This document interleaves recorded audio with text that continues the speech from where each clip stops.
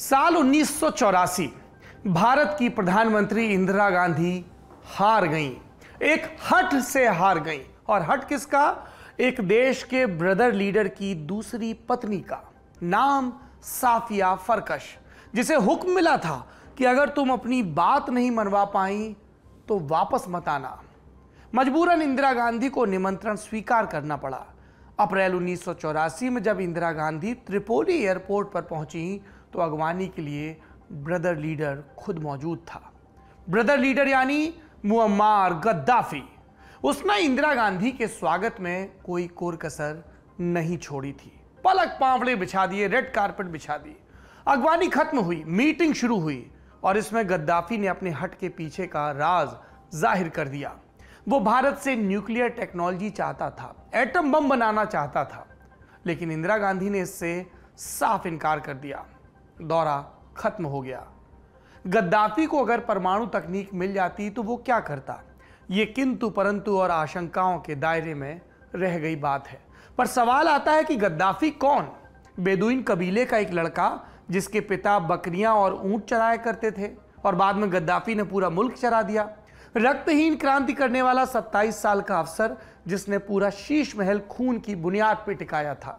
जो कभी पुरानी फॉक्सवैगन कार में अकेले सफ़र किया करता था, लेकिन बाद में अयाशी का सिंबल बन गया, जिसने अपने लिए कर्नल, इमामों का इमाम और अफ्रीका का शहनशाह जैसी उपाधियाँ धारण की, लेकिन अमेरिका की नज़र में वो मिडिल ईस्ट का पागल कुत्ता था।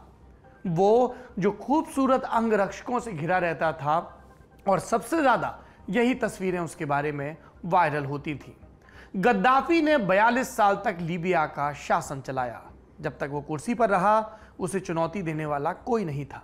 जिसने कोशिश की, उसे हमेशा के लिए गायब कर दिया गया। लेकिन फिर एक दिन पड़ोस के ट्यूनिशिया में एक आग भड़की। पहले एक व्यक्ति के शरीर पर और फिर पूरे देश में। और उसके बाद समूचे मिडिल ईस्ट में। दिसंबर 2010 में ट्यूनिशिया में नगर निगम के अधिकारियों ने मोहम्मद बजीजी का फल का ठेला जब्त कर लिया। जब वो छुड़ाने दफ्तर गया तो बुरी तरह दुत्कारा गया। गुस्से में उसने खुद को आग लगा ली। घटना का वीडियो सोशल मीडिया पर वायरल हो गया। ट्यूनीशिया में प्रोटेस्ट शुरू हो गए। धीमे धीमे मिडिल ईस्ट के बाकी देशों में भी इसका असर दिखने लगा। इजिप्ट, सीरिया, लीबिया, यमन जैसे देशों में लंबे वक्त से तानाशाहों की सरकार चल रही थी। लोगों में असंतोष था। वे आजिज आ चुके थे। विद्रोह का ये ताप लीबिया भी पहुँचा। जनता गद्दाफी को हटाना चाहती थी, पर गद्दाफी इसके लिए तैयार नहीं था। उसने प्रदर्शनकारियों को धमकी दी। एक टर्म का इस्तेमाल किया। जेंगा जेंगा हिंदी में मतलब होता है गली गली उसने चेताया कि वापस नहीं लौटे तो घर घर में गली गली में घुसकर मारूँगा। पर जनता ने इसका मज़ाक बना दिया। लेकिन जनता के इस मज़ाक, जनता के इस प्रोटेस्ट से नाराज़ गद्दाफी ने टैंक का मुँह जनता की तरफ़ मोड़ दिया और तब एंट्री हुई नेटो की। और इसके पीछे अमेरिका था। अमेरिका को लग रहा था कि ये मिडिल ईस्ट में जो असंतोष भड़क रहा है, इसके सहारे वो इन तमाम देशों में फाइनली लोकतंत्र को लाने में सफल होगा। पर अमेरिका हमेशा की तरह असफल रहा। नेटो की एंट्री लीबिया में हुई। नेटो ने गद्दाफी के ठिकानों पर हमले शुरू कर दिए। अक्टूबर 2011 तक उसका आखिरी किला ढह चुका था। गद्दाफी को रेगिस्तान बहुत पसंद था। जब भी परेशान होता, रेगिस्तान में बने टेंट में दिन भर रहता, अपने कबीले के लोगों से मिलता। उस दिन भी वो रेगिस्तान में था, लेकिन इस बार हालात बदले हुए थे। वो खौफजदा था। सिरते के पास रेगिस्तान में एक पाइप में छिपकर बैठा था, पर विद्रोहियों ने उसे खोज निकाला और पीट पीट कर कत्ल कर दिया। सिरते शहर 42 सालों के तानाशाही शासन के अंत का प्रतीक बन गया और यही सिरते। 11 बरस बाद एक बार फिर से चर्चा में है। वजह है, प्रधानमंत्री की कुर्सी पर दावेदारी को लेकर हुआ झगड़ा। दरअसल लीबिया में इस समय दो दो प्रधानमंत्री काम कर रहे हैं। 17 मई को एक प्रधानमंत्री अपने लड़ाके लेकर दूसरे के गढ़ में घुस गए और दूसरे को कुर्सी से हटाने की कोशिश की। नतीजा, वो नाकाम रहे। आज हम जानेंगे लीबिया में दो प्रधानमंत्री क्या कर रहे हैं मुअम्मार गद्दाफी के जाने के बाद लीबिया के हालात क्या हैं और क्या कभी लीबिया वापस पटरी पर लौट पाएगा नमस्ते, मेरा नाम सौरभ द्विवेदी है और आप लल्लन टॉप का अंतर्राष्ट्रीय प्रसंगों से जुड़ा रोज़ाना का कार्यक्रम दुनियादारी देख रहे हैं Brought to you by Kuku FM. Download the app now. दुनियादारी के इस एपिसोड के स्पॉन्सर हैं ऑडियो बुक का प्लेटफॉर्म कुकू एफएम, जिसका प्रीमियम सब्सक्रिप्शन लेंगे तो 50 फ़ीसदी की छूट मिलेगी। उसके लिए आपको कोड डालना होगा एल टी फिफ्टी ये छूट पहले 500 यूज़र्स के लिए है, ज़्यादा जानकारी डिस्क्रिप्शन में। अब बात गद्दाफी के बाद के लीबिया और वहाँ चल रहे सिविल वॉर की। पर उसके लिए पहले बैकग्राउंड समझिए। दुनिया के नक्शे पर लीबिया उत्तरी अफ्रीका में पड़ता है। Egypt Sudan, Chad, Algeria, Niger और ट्यूनिशिया उसके पड़ोसी हैं। एक ज़माने में यहाँ सिकंदर का शासन रहा। जूलियस सीजर के समय रोमन का कब्जा रहा। सातवीं सदी में इस्लाम का उदय हुआ तो उन्होंने अपना प्रचार प्रसार शुरू किया। तब तक रोमन्स कमज़ोर पड़ चुके थे। अरब कबीलों ने रोमन्स को बाहर निकाल दिया। 1511 में यह इलाका ऑटोमन साम्राज्य के अधीन आ गया। कई सदियाँ बीती। 1911 में इटली की एंट्री हुई और 1920 के दशक में बेनिटो मुसोलनी इटली का प्रधानमंत्री बना। उसने लीबिया में खूब तबाही मचाई। दूसरे विश्व युद्ध के दौरान लीबिया भी युद्ध के मैदान में तब्दील हो गया। ब्रिटेन और फ्रांस ने मिलकर इटली को खदेड़ दिया और ये विजेता देश इसके बाद आपस में तकरार करने लगे। दरअसल हर कोई लीबिया को अपने कंट्रोल में चाहता था। तकरार पूरे नौ बरस चली। और फिर उन्नीस सौ इक्यावन में संयुक्त राष्ट्र ने प्रस्ताव पास कर लीबिया को आज़ाद घोषित किया। Idris United Kingdom of Libya के पहले राजा बनाए गए। इन्हें इटली के राज में विद्रोह के लिए निर्वासित किया गया था। पश्चिमी देशों को लगा कि इदरिस को कठपुतली बनाकर लीबिया पर राज चलाया जा सकता है, और वो सही भी थे। इन सब के बीच उन्नीस सौ उनसठ में लीबिया में कच्चा तेल मिला और इसके बाद खेल बदल गया। इदरिस ने अब तक अपनी वफादारी बखूबी साबित की थी। उन्होंने इसे आगे भी जारी रखा, पश्चिमी कंपनियों को औने पौने दाम पर तेल बेचा। लेकिन इस लूट के बावजूद लीबिया के पास बहुत सारा पैसा आ रहा था और इसका बहुत छोटा हिस्सा आम जनता के पास या वेलफेयर में पहुँच रहा था। बाकी पैसों को इदरिस ने अपने पसंदीदा लोगों में बंदर बांट कर दिया था।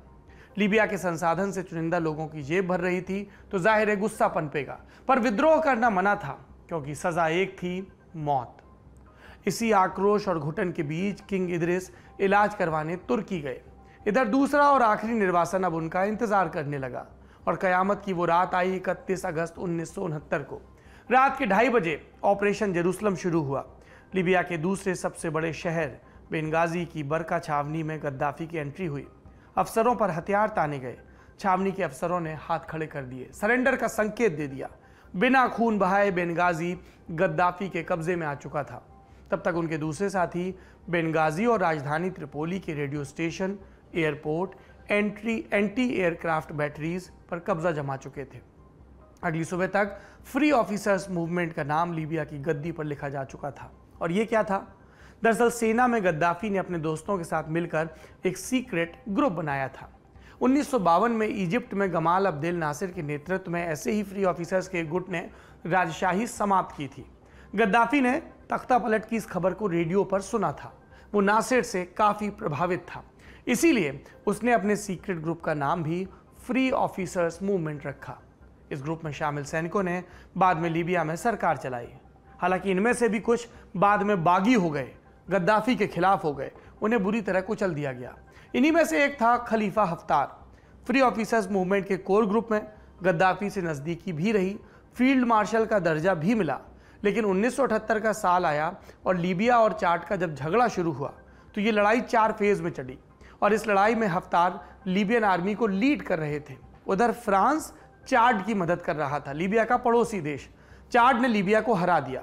उन्नीस सौ सतासी में चार्ड आर्मी ने लीबिया के 300 से ज़्यादा सैनिकों को बंदी भी बना लिया। इनमें से एक था खलीफा हफ्तार। ये खबर गद्दाफी तक पहुँची, पर उसने क्या किया? अपने ही सैनिकों और पुराने सिपा सालार को पहचानने से इनकार कर दिया। कहा कि हमारे लोग नहीं। हफ्तार को वफादारी का ये सिला रास नहीं आया। जब हफ्तार कैद से आज़ाद होकर अमरीका गया तो वहाँ उसने खुफिया एजेंसी सीआईए से हाथ मिला लिया। हफ्तार ने विदेश में रहते हुए कई बार गद्दाफी की, हत्या कराने की कोशिश भी की सीआईए की मदद से, पर सफलता नहीं मिली। 2011 के अरब स्प्रिंग में वो देश लौटे। उन्होंने विद्रोहियों के एक धड़े की कमान संभाली। गद्दाफी की मौत के बाद, लेकिन वो अचानक गायब हो गए। वापसी कुछ बरस बाद हुई, फरवरी 2014 में। उन्होंने चुनी हुई संसद, जनरल नेशनल कांग्रेस के खिलाफ खड़े होने का ऐलान किया। ये जनरल नेशनल कांग्रेस यानी जीएनसी 2012 में बनी थी, लेकिन चुनी हुई सरकार समस्याओं को सुलझाने में नाकाम साबित हो रही थी। देश भर में आतंकी हमले हो रहे थे और विद्रोही गुट आपस में लड़ रहे थे, यानी लीबिया अस्थिर था। ऐसे में मई 2014 में हफ्तार ने ऑपरेशन डिग्निटी की शुरुआत की लीबियन नेशनल आर्मी यानी एलएनए के साथ मिलकर उन्होंने आतंकी संगठनों के खिलाफ लड़ाई छेड़ दी। अगस्त 2014 में हाउस ऑफ़ रिप्रेजेंटेटिव्स ने जनरल नेशनल कांग्रेस को रिप्लेस किया और उन्हें नेशनल आर्मी का कंट्रोल भी मिल गया।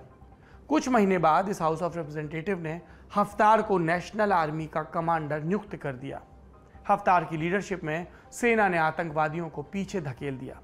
लेकिन आंतरिक झगड़े थे, लोकतांत्रिक झगड़े थे, प्रभुत्व के झगड़े जो रुकने का नाम नहीं ले रहे थे। 2015 में यूएन ने हाउस ऑफ़ रिप्रेजेंटेटिव और जेएनसी के प्रतिनिधियों के बीच सुलह करवाई, समझौता हुआ और फिर गवर्नमेंट ऑफ़ नेशनल अकॉर्ड यानी जीएनए की स्थापना हुई। इसमें तोबरूक में स्थित एचओआर और त्रिपोली में स्थित जीएनए दोनों को रिप्रेजेंटेशन मिला। पर लड़ाई सार्वभौम अधिकार की थी, कोई टुकड़ा बांटने के लिए हिस्सेदारी के लिए तैयार नहीं था। इस वजह से यूनिटी गवर्नमेंट बनाने में कभी सफलता नहीं मिल पाई। दोनों ने अपने अपने सेंट्रल बैंक बनाए हैं, उनके पास अपने अपने इलाके में तेल के कुएँ हैं और पूरी लड़ाई दरअसल तेल की कमाई के इर्द गिर्द ही घूम रही है। और इन सब के बीच पिस रही है आम जनता, क्योंकि उन्हें अभी तक एक ढंग की एकीकृत सरकार नहीं मिली है। लीबिया में बुनियादी चीज़ों की भारी कमी है। शहर तहस नहस हैं, लोग देश छोड़कर पलायन कर रहे हैं, अवैध तरीके से यूरोप जाने की कोशिश कर रहे हैं। समंदर में भी लीबिया के शरणार्थियों की मौत की घटनाएँ आप अक्सर सुनते हैं। ये है लीबिया के हालात। वहाँ पर जनता की क्रांति को हाईजैक कर अहंकार और लूट की लड़ाई में बदल दिया गया है। इन सब के बीच दिसंबर 2021 आता है।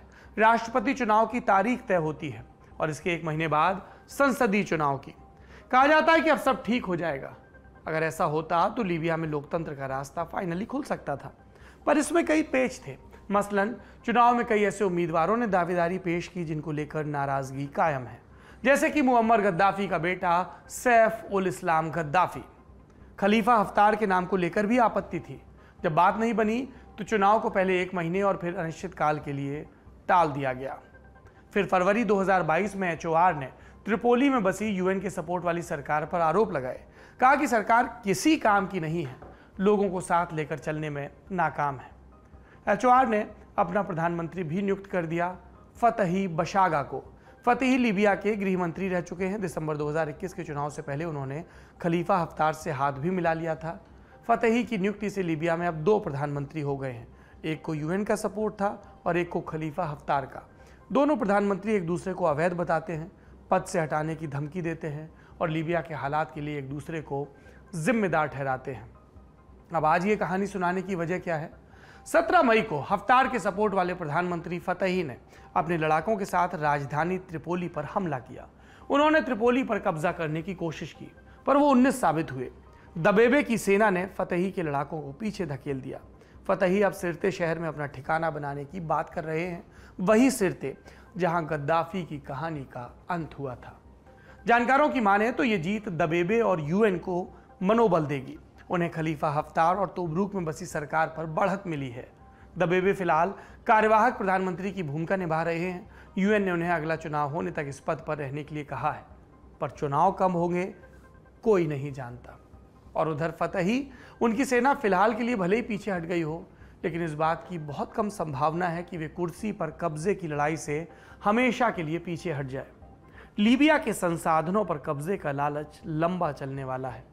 देश भले ही मरणासन स्थिति में हो, लेकिन वो पश्चिमी देशों के प्रयोगों का जीवंत उदाहरण बना रहेगा। उदाहरण इस बात का कि लोकतंत्र की आमद बंदूक की नली से नहीं होती।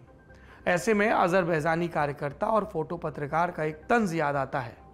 पश्चिमी देश इराक पर हमला करते हैं, लीबिया का ताना बाना बिगाड़ देते हैं, यमन और सीरिया में बेमतलब टांग अड़ाते हैं, और फिर भी सारी समस्याओं की जड़ नॉर्थ कोरिया है।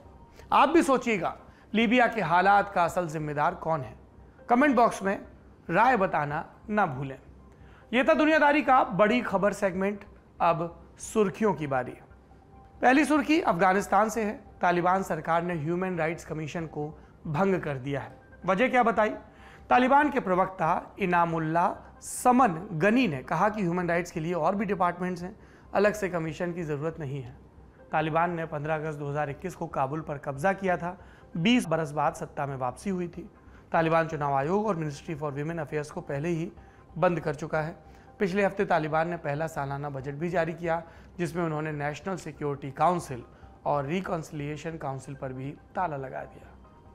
जहाँ तक ह्यूमन राइट्स कमीशन की बात है, ये वॉर ऑन टेरर के दौरान हताहत हुए अफगान नागरिकों का डेटा रखता था।